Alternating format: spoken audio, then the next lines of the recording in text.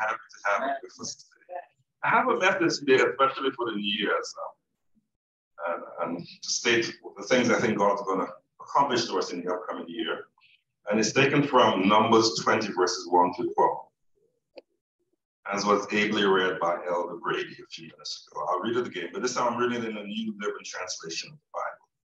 Numbers chapter 20, verses 1 through 12. It says, In the first month of the year, the whole community of Israel arrived in the wilderness of Zin and camped at Kadesh. While they were there, Miriam died and was buried. There was no water for the people to drink at that place. So they rebelled against Moses and Aaron. The people blamed Moses and said, If only we had died in the Lord's presence with our brothers. Why have you brought the congregation of the Lord's people into this wilderness to die, along with all our livestock?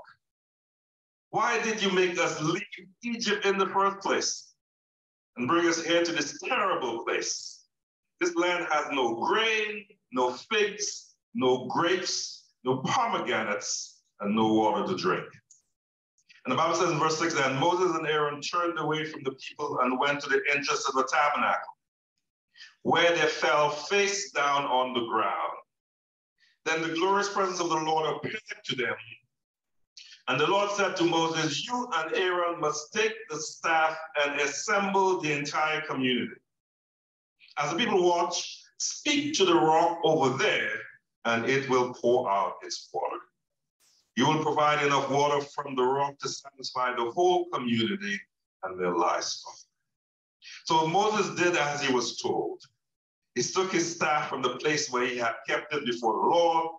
Then he and Aaron summoned the people to come together at the rock. Listen, you rebels, he shouted. Must we bring water from this rock? Then Moses raised his hand and struck the rock twice and water gushed out. So the entire community and their livestock drank their fill. But verse 12 says, But the Lord said to Moses and Aaron, Because you did not trust me enough to demonstrate my holiness to the people of Israel, you will not lead them into the land I am giving them. You will not lead them into the land I'm them. For the next few moments, I want to focus on this text on this, the sermonic title, God's doing a new thing. God's doing a new thing.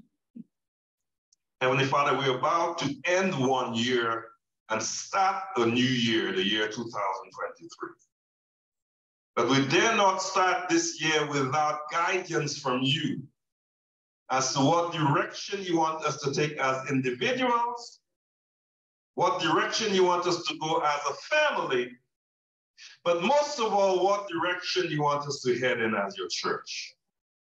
So meet with us today, Father, on this last day of the year 2022, and give us your directives as to how you want us to proceed. We don't want to take a step further without hearing a word from you, Father. So do not disappoint us today. We ask in these things in Jesus' name and for his sake. Amen. Amen. Now, churches of all denominations, unfortunately, including the Seventh day Adventist Church, are presently facing in the midst of an existential crisis. Existential crisis that might very well cause the existence, that involves the existence of the church. To the crisis concerns preaching and making the gospel relevant to the life experiences of the younger generations. Millennials and Generation Zers are leaving the church in record numbers.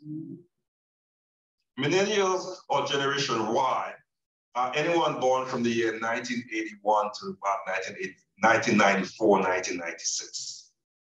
They're currently between the ages of 25 to 40, and they presently constitute 72.1 million of the US population. Now, Generation Z is a generation that follows, and they are those born between 1996 to the mid 2000. My son is Generation Z. Okay, and they constitute approximately 90 million of the US population. Here, the millennials and Generation Z constitute almost 52% of the US population. Now, a Pew Research study recently found that 40% of all millennials now say that they have no religious affiliation. You don't have claim any religion. Okay?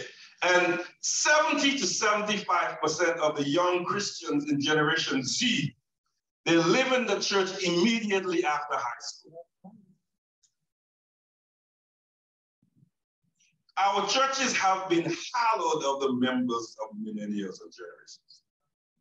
Any of you who grew up in Miami know that churches like Bethany, Northside, Tabernacle used to be bursting in the scenes with young people. You go to these churches right now, and it's stragglers, mostly older people in those churches right now. The youth population of many of our churches has been decimated, especially here in North America. Now, our present inability to reach the millennials shows us one thing that past success in reaching young people does not necessarily guarantee our future success. See, our present inability to reach young people is quite perplexing. Because in the past, the church excelled in areas of youth ministry. See, in the late 70s and the 80s, when I grew up in the church, we were packed brim to the brim with young people. And the churches in the Caribbean, Sister George could attest to that. There were more young people older people in the church. As a matter of fact, the church was known for its vibrant youth ministry programs. But here's the thing success does not always promote present success. See, past success is not always an indicator of present success. As a matter of fact, past success can sometimes be an obstacle to present success. Yeah. And today's scripture is a clear example of this. See, the Israelites have been in slavery in Egypt for over 400 years. And the Bible says that they cried out to God because of their affliction, that God heard their oppression, and God orchestrated their rescue through Moses. Now, throughout this dramatic rescue enterprise, God habitually demonstrated his power through Moses' staff. Okay, Moses threw down his staff before Pharaoh, and it became a serpent. He picked it back up, it became a staff again. Moses lifted up his staff and touched the Nile River, and it turned into blood. He lifted up his staff, and plagues came down on Egypt. Mm-hmm. Moses lifted his staff at the Red Sea, and the sea parted, and the Israelites went through on dry land. Moses and his staff had become a very powerful duo for the Lord. But the emancipation from slavery in Egypt was only the beginning of the story. The children of Israel, after they left Egypt, crossed the Red Sea, they crossed into the barren wilderness of Sinai, where they faced countless seemingly insurmountable obstacles, and the least of which was, which was a severe shortage of food and water. See, on one such occasion, while they were camped at Rephidim, the children of Israel ran out of water, the Bible says. They became angry if Moses leaving them into a place without water. Though it was not Moses, it was actually God that was leading them in the cloud. But they became angry with Moses for leading them to a place without water.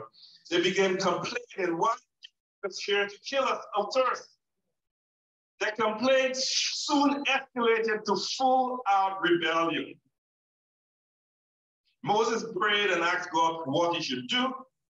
And God told Moses to take his staff and to strike the rock.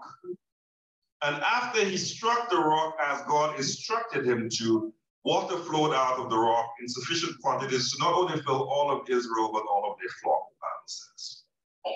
See, Moses and his staff had become an extremely powerful duo for the Lord. A duo that was enough to overcome any obstacle the children of Israel faced while they were in the wilderness. But in our text for today, a similar scene unfolds.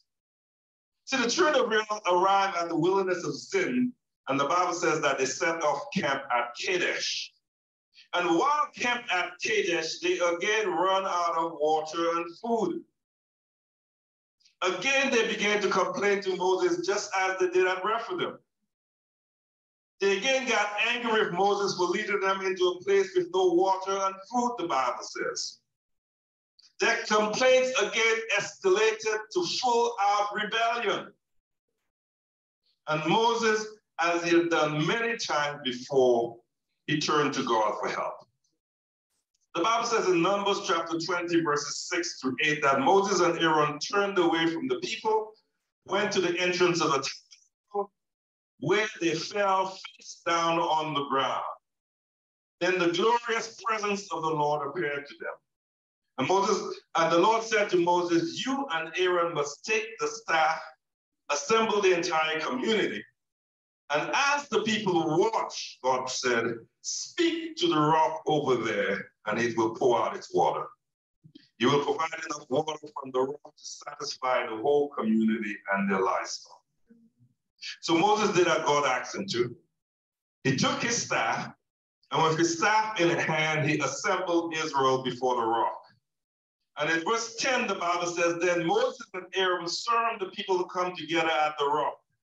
Listen, you rebels, he shouted. Must we bring you water from this rock? But the Bible says that something happened to Moses between communicating with God and assembling the people at the rock. Because the Bible states in verse 11, then Moses raised his hand and struck the rock twice with his staff, and water gushed out. See, rather than obeying God's command and speaking to the rock as God had instructed Moses, the Bible states that Moses struck the rock twice with his staff. Moses obeyed God's express command. Now, he was not guessing about it. God told him directly what he wanted him to do. But Moses chose to disobey God's express command and struck the rock with his staff instead of speaking to the rock as God had commanded him to. Now, my question to you today, what I'd like to explore for the rest of the sermon, is why? Why did Moses disobey God and strike the rock instead of speaking to the rock? Now, in Moses' defense, you must consider the scene. Moses was literally between a rock and a hard place. He was facing a furious mob of hungry, thirsty people who were ready to attack him if they did not, if he did not provide them with food and water. His neck was literally on the line. And Moses needed a guaranteed, proven solution, something he could count on, a way of supplying water that could not fail. So Moses turned to what had always worked with him in the past, his staff. See, prayer of the people and the desperate need to control the outcome caused Moses to disregard God's express command and to instead trust in a proven method that had worked with him in the past, a proven formula, which was his staff. He put his faith in the sure thing rather than putting his faith in God. He put his faith in his staff rather than putting his faith in God. Now, Moses' failure at Kadesh Barnea illustrates three of the greatest obstacles to success that we face as individuals and as a church. I'll give you those three and then we will be done. Now, the first lesson it teaches us is that focusing on past success rather than focusing on God can become an obstacle to success. That focusing on past success rather than focusing on God can become an obstacle to success. See, past success is not always a reliable indicator of present success. Past success does not always guarantee present success. Past Success does not always promote present success. As a matter of fact, past success can sometimes be an obstacle to present success. Why is that? Because we sometimes assume that the way God has worked in the past is how he will continue to function indefinitely in the future. In other words, we believe that God can only deliver us in the same way that he delivered us in the past. That God can only deliver us using the same means that he did in the past.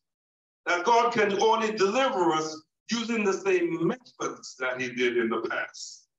And as such, our past success can become a means of boxing God in, a means of limiting God's power, a means of limiting God to deliver us in a different way in the present than he did in the past. See, sometimes we get so stuck in the past, so glued to the way that we stifle God's ability to move in new ways in the present. Stifle God's ability to lead us in new directions in the present. We stifle God's ability to deliver us by using new means in the present. We stifle God's ability to bless us in different ways in the present. See, just because God granted us success as a church in the past, employing a particular evangelistic method, does not guarantee present success when we employ the same method today. God may be doing a new thing in our time. For example, when the church began, the new technology available at the time was the printing press. And the church used the printing press with astounding success. Our pioneers relied heavily on the printing press to spread the gospel and God blessed the work tremendously. But just because God granted us success as a church in the past by using the printing press does not guarantee us present success when we use the same method, the printing press. Why? Because God may be doing a new thing in our time. In the 1950s and 60s and 70s, the most effective method of spreading the gospel was crusades and tent meetings. So we grew, a lot of us were converted by crusade and tent meetings. And the church relied heavily on crusade and tent meetings with phenomenal results. But just because God granted us success as a church in the past while using crusade and tent meetings does not guarantee present success if we use the same methods today.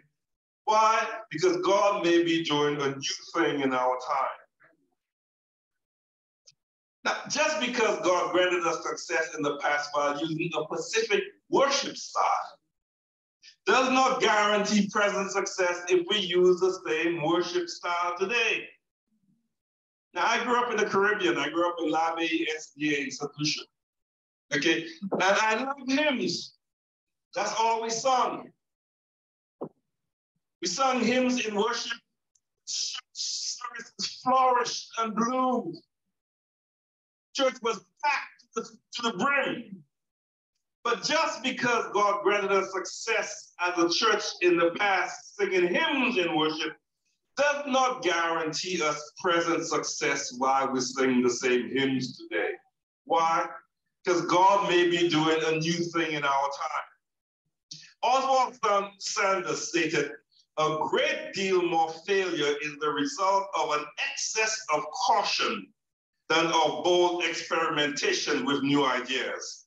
He says the frontiers of the kingdom of God were never advanced by men and women of caution.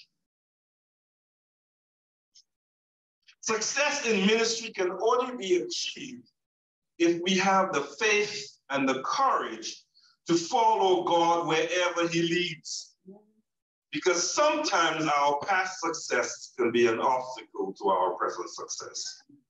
Now, the second lesson he teaches us is that focusing on principles rather than focusing on God can be an obstacle to success. And focusing merely on principles rather than focusing on God can be an obstacle to success. See, we assume that the way God worked in the past is the way he will continue to work indefinitely in the present and the future. And we think that once we've discovered the principles that govern God's action in the past, we can employ the same principles with guaranteed results, guaranteed success in the present. Thereby, we reduce and limit God's confidence to a reproducible formula that we believe will guarantee success.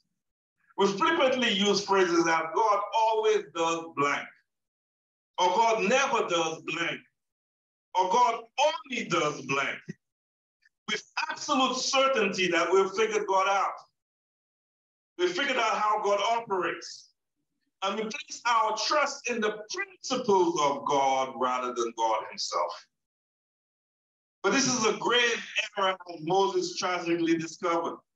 Because God is too big, He's too immense, He's too limitless, He's too infinite to fit into any of our puny success formulas, any of our puny success principles. None of our human principles or formulas are big enough to encompass everything is. God will always surprise us. He will always burst out of our simple human principles and formulas because they are too small to encompass everything he is. They are too small to contain him. That is why focusing on principles rather than focusing on God can become an obstacle success. And the first, third, and final lesson it teaches us is that focusing on outcomes and effectiveness rather than focusing on God can become an obstacle success. Focusing on outcome and effectiveness can become an obstacle to success. See, effectiveness is an odd value to be held in such high regard by folks who claim to believe in a sovereign, unsearchable God. To guarantee effectiveness requires one to be in control of every minute detail and variable in an enterprise. But if we're in control of the outcome, what room does that leave for God to act? If everything happening can be explained by human causality, by our actions, then why do we need God in the first place? See, as a church, we sometimes tend to rely too heavily on research and studies that measures the effectiveness of a particular approach or program. Because while studies have been able to tell us which principles of life, business, or ministry are most effective, a research method has not yet been developed or invented which measures whether a thing is right, which measures whether a principle is God ordained, or which measure whether a principle is God's will That can only be achieved through prayer and spiritual discernment. See, many times we assume that God values effectiveness as much as we do. We therefore conclude that the most effective principle or method is the one which God would employ, and thereby remove the need for prayer. We remove the need for spiritual discernment. We renewed the, remove the need for God's active participation in the process. But here is the thing effectiveness does not automatically guarantee God's approval. Because in our text today, Moses obeyed, obeyed God by striking the rock with his staff instead of speaking to the rock as God had commanded him to. But the Bible says that after Moses struck the rock, the water gushed. So much so that the entire community of Israel and all the flock were dragged to their fill, the Bible says. From a human perspective, Moses was a kind of success. His ministry was extremely successful. He was extremely effective from a human perspective. But while everyone was congratulating and praising Moses for his success, God remained unimpressed, the Bible says. And the Bible says in Numbers 20, 12, but the Lord said to Moses and Aaron, Because you did not trust me enough to demonstrate my holiness to the people of Israel, you will not lead them into the land I've given them. See, God performed this miracle in spite of Moses, not because of Moses. God performed the miracle in spite of Moses, not because of Moses. While Moses may have been effective from a human perspective, effectiveness does not always guarantee God's approval. See, sometimes focusing on God's dealing with us in the past can be beneficial. And remind us if God was able to do it for us in the past, he will do it for us again in the present and in the future. But as Moses learned, sometimes focusing too much on God's dealing with us in the past can also be detrimental. Because it may blind us to how God is presently trying to bless us. It may frustrate God's ability to move in new ways in the present. It may frustrate God's ability to lead us in new ways. It may frustrate God's ability to deliver us in new ways. It may frustrate God's ability to bless us in new ways. Because God may be trying to do a new thing in time. Isaiah chapter 43, verses 18 through 19 says, Isaiah 43, verses 18 to 19, it says, Do not remember the former things, nor consider the things of old. Behold, I will do a new thing. Now it shall spring forth. Shall you not know it? I will even make a road in the wilderness and rivers in the desert. See, God has promised to do a new thing in our time.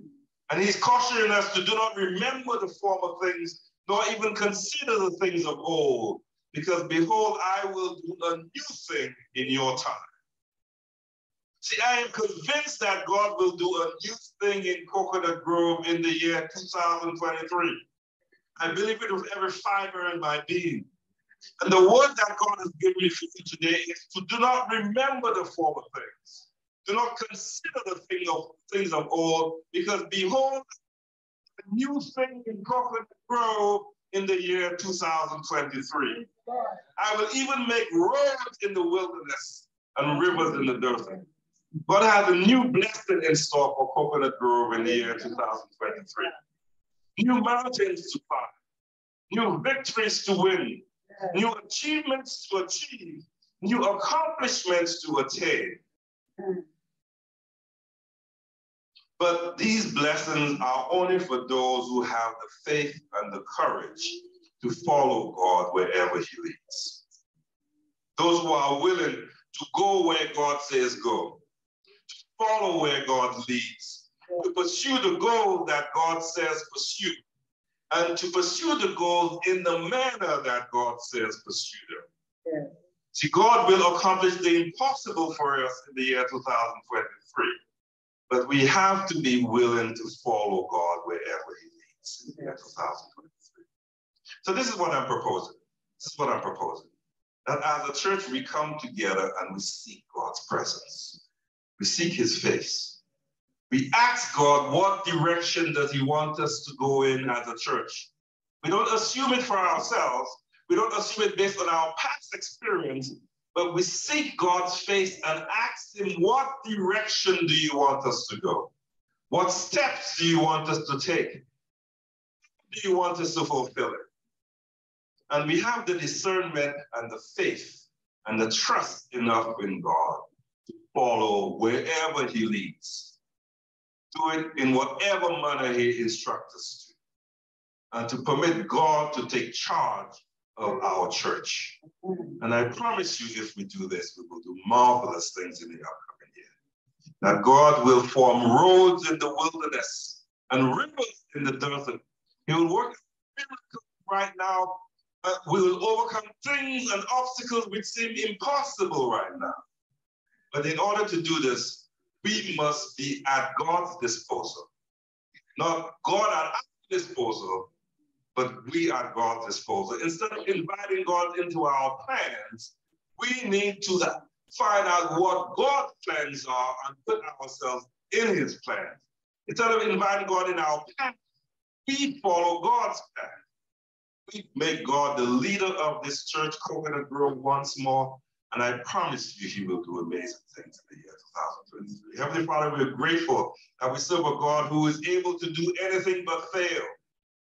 And we trust that you have great plans for us as, as a church community in the year 2023. So we ask that you prepare our hearts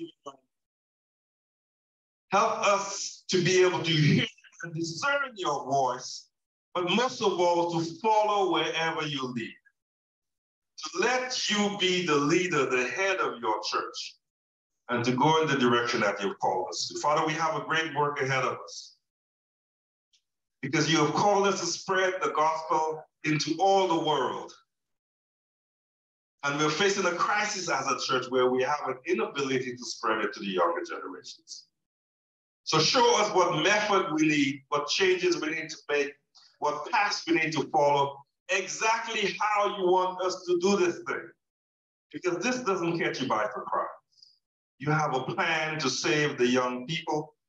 And if we get into your program, we will, we will achieve the success that you desire us to. You're soon to come back and take us home with you, Father. So prepare us for your kingdom and help us to take as many other young people with us as is possible. We ask this things in Jesus' name before I say. Amen. Amen.